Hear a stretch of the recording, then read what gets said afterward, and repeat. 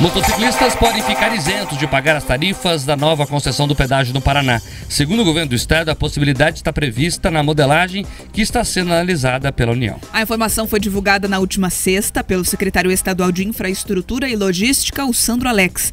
Ele falou sobre o tema depois que uma audiência pública é, realizada no plenarinho da Assembleia Legislativa debateu o assunto.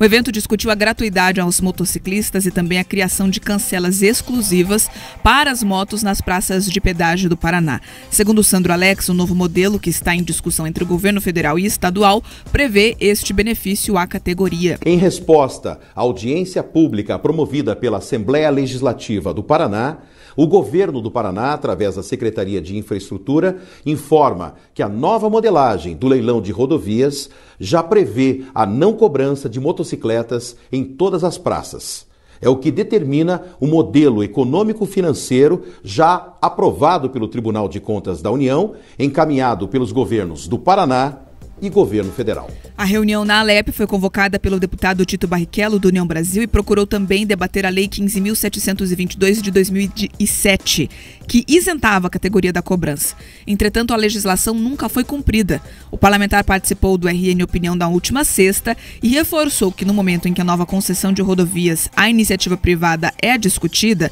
também é importante que essa lei que isenta os motociclistas de pagarem as tarifas seja respeitada. Não havia isenção dos motociclistas na época.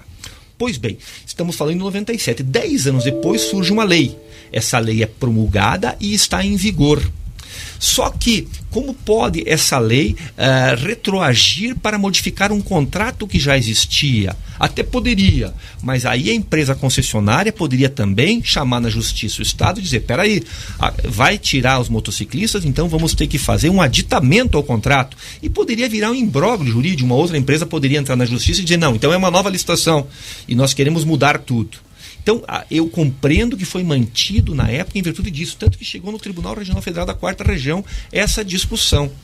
Pois bem, só que os contratos venceram. Venceram agora em 2021. Né, os contratos de licitação. Estão sendo feitos novos contratos.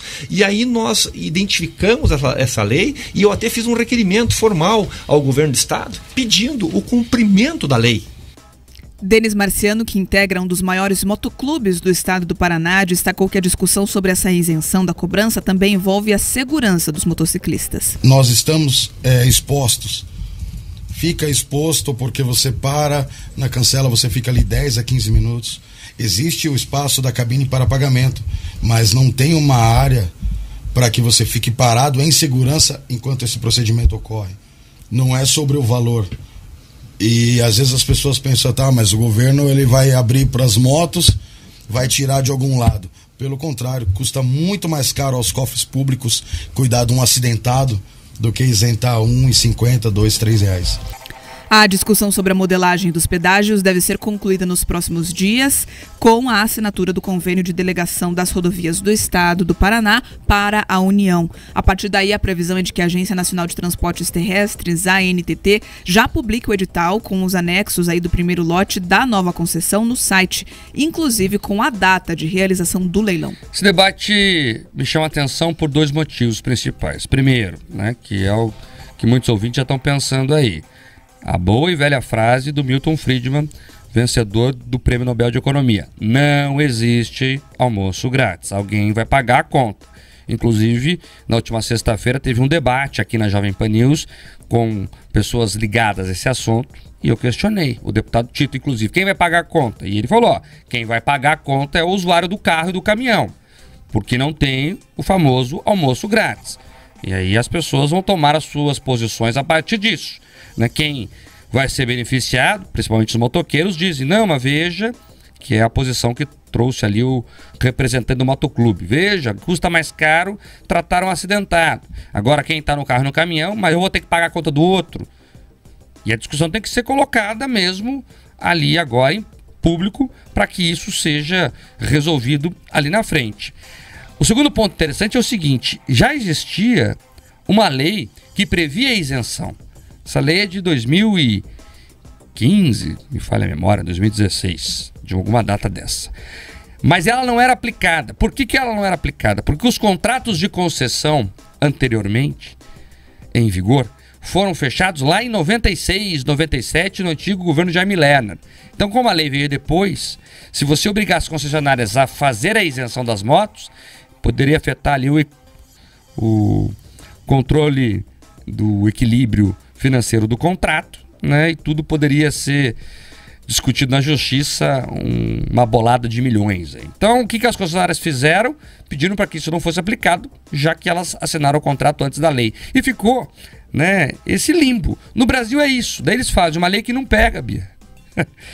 É uma coisa impressionante. Então eles aprovaram uma lei dizendo, a Assembleia do Paraná aprovou uma lei, o governador daquela época assinou a lei dizendo, ó, as motos vão ficar isentas, mas só depois, porque agora o contrato em vigor foi assinado lá antes. Tem um caso parecido aqui em Curitiba.